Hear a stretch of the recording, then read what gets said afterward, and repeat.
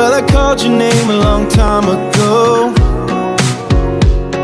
And you sprung a well from a heart of stone. But I was careful then what I let you see. Only thought you wanted the best of me.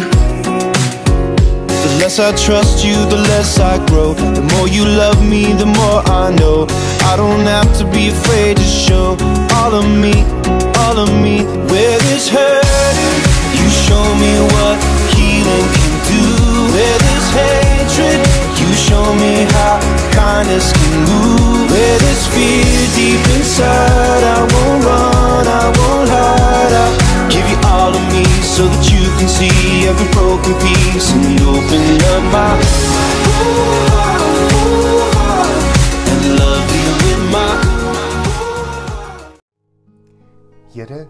U sien dwars deur my. U ken my. Of ek sit en of ek opstaan, U weet dit. U ken my gedagtes nog voordat hulle by my opkom. Of ek reis en of ek oorbly, U bepaal dit. U is met al my paaie goed bekend. Daar is nog nie 'n woord op my tong nie of U Here weet wat dit gaan wees. U ontsluit my van alle kante. U neem my in besit. Die wete oorweldig my, dit is te hoog vir my begrip. Waarheen sal ek gaan om u gees te ontvlug? Waarheen sou ek vlug om aan u teenwoordigheid te ontkom? Klim ek op na die hemel, is u daar? Gaan lê ek in die doderyk, is u ook daar? Vlieg ek na die ooste of gaan woon ek in die verre weste, ook daar lê u hand my, hou u regterhand my vas. Ek sou die duisternis kon vra my weg te steek of die lig rondom my om 'n nag te verander.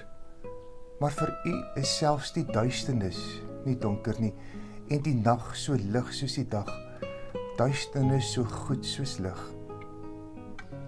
Deurgrond my o God, deurgrond my hart. Ondersoek my, sien tog my onrus raak. Kyk of ek nie op die verkeerde pad is nie en lei my op die beproefde pad. Amen. Goeiedag liewe ge geloofsvriende. En baie welkom by hierdie uitsending. Mag ons ook op hierdie manier van saam wees die teenwoordigheid van die Here ervaar. Soos Dawid in hierdie Psalm bely dat God se aanwesigheid oral is, weet ons verseker dat sy teenwoordigheid nou en hier is. So stel ons onsself dan oop, ook met die woorde van die Psalm. Deurgrond my o God, deurgrond my hart. Met die verwagting, lei my op die beproefde pad. Ons gebruik die volgende lied om ons in te stel om saam met die Here te kuier. Nader tot die Here.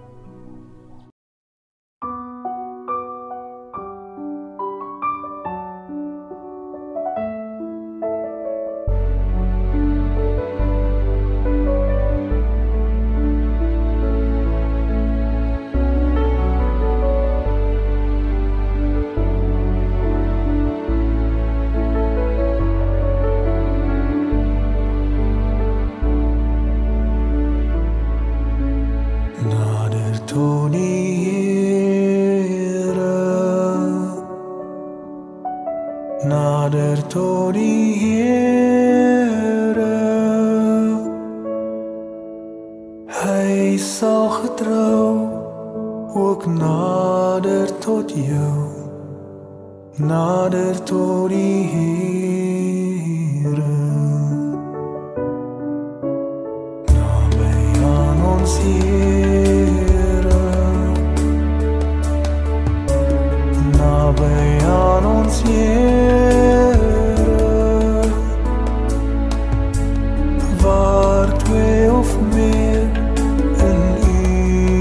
verkeer. Is hy naby aan ons Here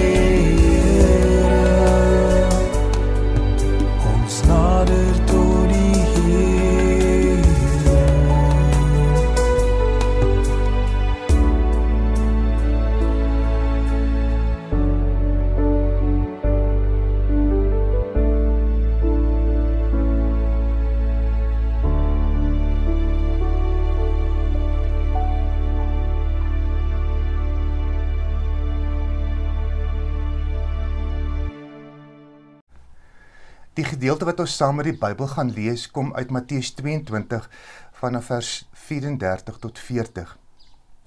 Ter inleiding wil ek eers die volgende met u kom deel. Een van die interessanthede van die lewe is dat ons van mekaar kan en mag verskil, want ons dink anders oor sake en dinge en het verskillende opinies en menings oor die sake van die dag. Dit is hierin waar die uniekheid van ons menswees ook lê. Ons kan na dieselfde saak kyk en tog vanuit ons eie verwysingsraamwerk van mekaar verskil. Die volgende prentjie illustreer dit.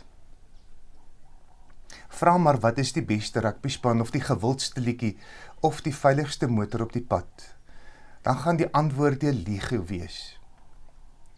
Dit is sodat ons mekaar ook volgens ons menings kategoriseer en in my kop die ander persoon in belangegroepe plaas. Dit beïnvloed my oor hoe ek dink oor daardie persoon. In die tyd van Jesus se bediening was dit ook nie anders nie. Jesus se bediening word gekenmerk dat hy 'n nuwe koninkryk kom bekendstel en kom vestig.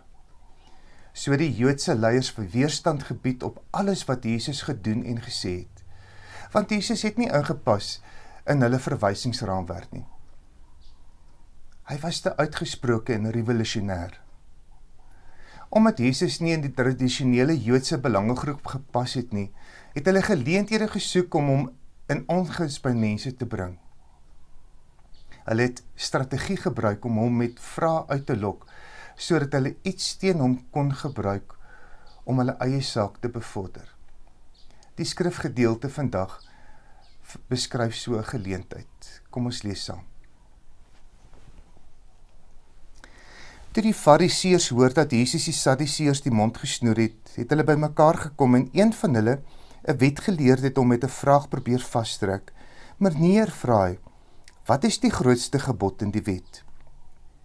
Jesus antwoord hom, "Jy moet die Here jou God lief hê met jou hele hart en met jou hele siel en met jou hele verstand. Dit is die grootste en die eerste gebod. En die tweede wat hiermee gelyk staan, is jy moet jou naaste lief hê soos jouself." In hierdie twee gebooie is die hele wet en die profete saamgevat.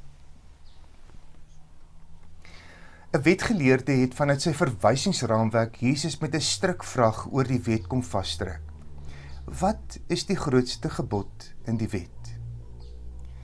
Die wetgeleerde en elke goeie en opregte Joodse paradigma is om God se wet tot in die fynste detail te gehoorsaam.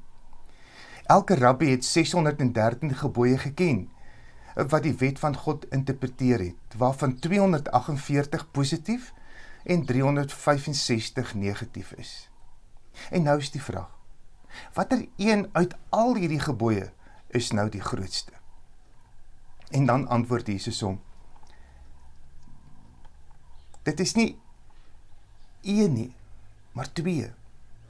Ook nie een of die ander een nie, maar beide dra dieselfde gewig so troef Jesus hom met Ou Testamentiese verwysing wat die wetgeleerde baie goed geken het. In Deuteronomium 6 vers 5 staan daar: "Daarom moet jy die Here jou God lief hê met hart en siel, met al jou krag." En dan kom voeg hy Levitikus 19 vers 18 ook by: "Jy mag nie wraak neem of 'n grief koester teenoor jou volksgenoot nie. Jy moet jou naaste lief hê soos jouself. Ek is die Here." Jesus se strategie is om die wetgeleerde se paradigma te verskuif. Nie om die wet te verwerp nie, maar om inhoud aan die wet te kom gee. Om dit dalk beter te verstaan, kom ons gee net so een trekkie terug. Jesus is besig om die godsdienstparadigma van sy tyd te verskuif. Hy kom plaas die kollig op homself as die een wat die wet in vervulling bring. Hy is die een wat die wet van God beliggaam. Dit beteken nie dat hy gekom het om al God se beloftes waar te maak. Hy kom demonstreer God se hart. Om dit dalk beter te verstaan, kyk ons vanuit Paulus se perspektief daarna. Die wet se bedoeling is om ons sondes uit te wys, dit te veroordeel en selfs die sonde te stimuleer. Maar die wet kon nooit die sonde van ons weggeneem het nie. Die dood was ons voorland. En nou skryf Paulus in die in die Romeine brief in hoofstuk 8. Daar in vers 3: wat die wet nie by magte was om te doen nie, omdat dit weens ons sondige natuur te swak was. Dit het God gedoen. Hy het met die sonde afgereken deur sy eie seun in dieselfde gestalte as die sondige mens te stuur. So het hy die sonde in die sondige bestand van die mens veroordeel. Nou kan ons aan die eise van die wet voldoen. Ons wat ons lewe nie deur ons sondige natuur laat beheers nie, maar deur die Gees. En dan vanaf vers 9 af: Julle word egter nie deur julle sondige natuur beheers nie, maar deur die Gees. Want die Gees van God woon in julle. Omdat Christus in julle woon, gee die Gees aan julle die lewe op grond van God se vryspraak. En dan vers 13: As julle julle lewe deur die sondige natuur laat beheers, gaan julle die dood tegemoet. Maar as julle deur die Gees se einde maak aan die sondige praktyke, sal julle lewe. Almal wat hulle deur die Gees van God laat lei, is kinders van God. So kom verklaar God dat ons sy kinders is, sy eiendom, met 'n hart vol met sy liefde gepomp. Daar in Romeine 5 vers 5 die baie bekende gedeelte, God het sy liefde in ons harte uitgestort deur die Heilige Gees wat hy aan ons gegee het. Met die gevolg Ek rig nie my lewe om al die wette na te kom nie. Maar deur my lewe gee ek inhoud aan die wet. Die vraag is dalk hoe? In my verhouding met God en met my verhouding met ander. En kyk net na die prentjie. Die gemeene noemer is ek. As dit hier skeefloop, my verhouding met myself loop alle verhoudings in gevaar.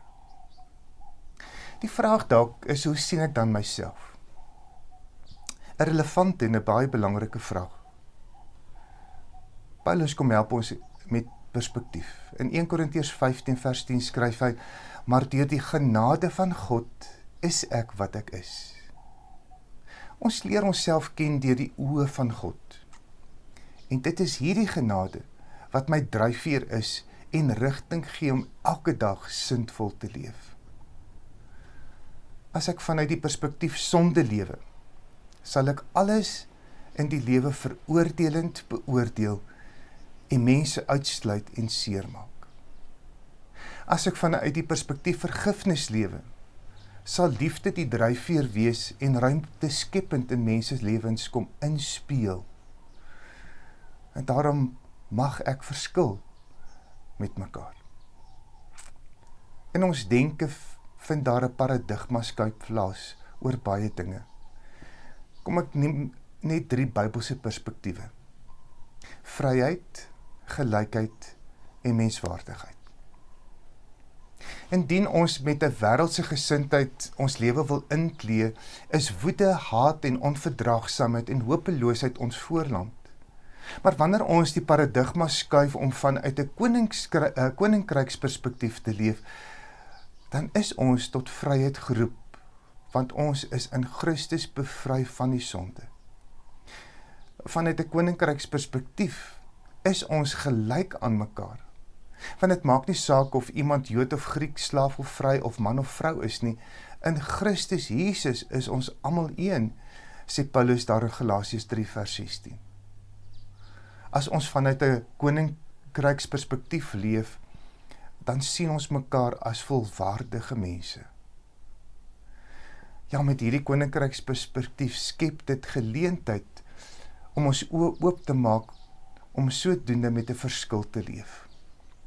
Ons leer dit aan en ons oefen dit in elke dag. Die goue reël is ons riglyn, Matteus 7 vers 12.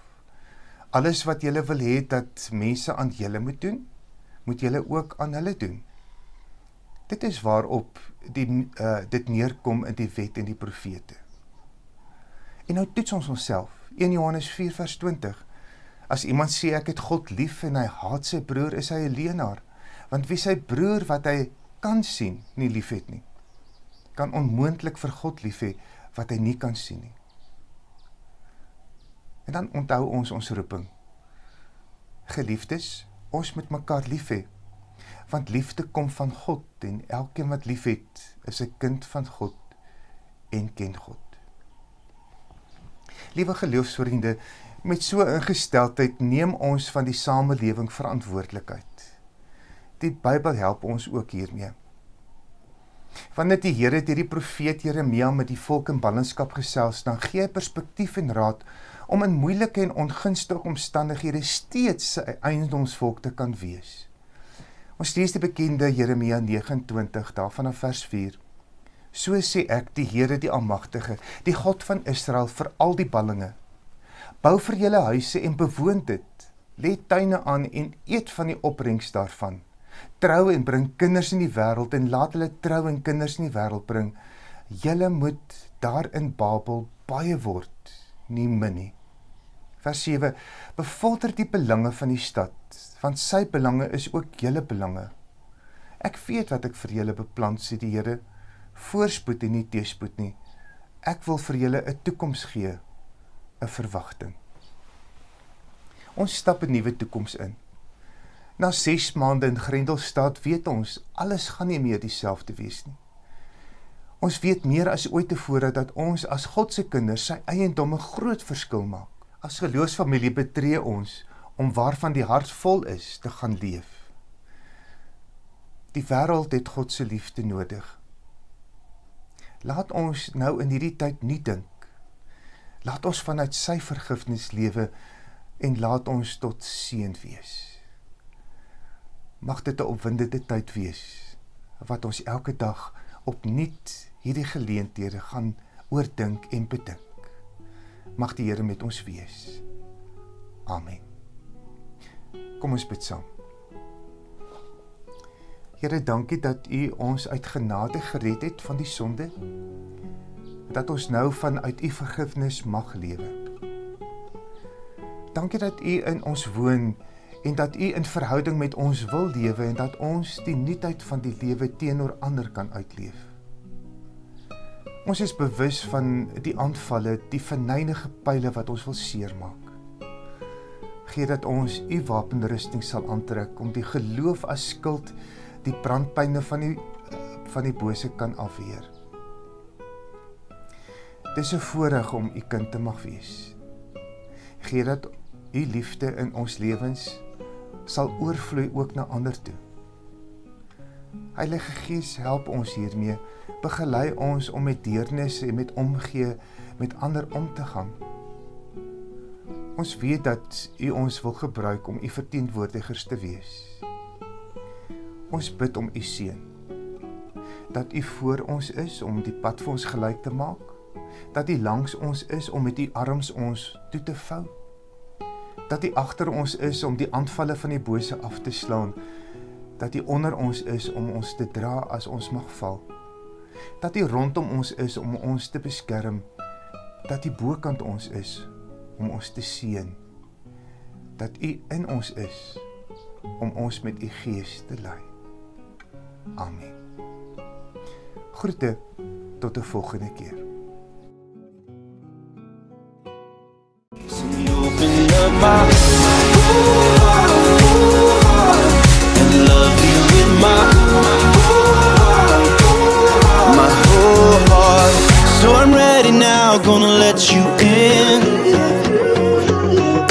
the way to the scars beneath my skin. You don't look away cause you understand. And you hold my heart with a gentle hand. Oh, where there's hurting You show me what healing can do. Where there's hatred You show me how kindness can move. Where there's fear deep inside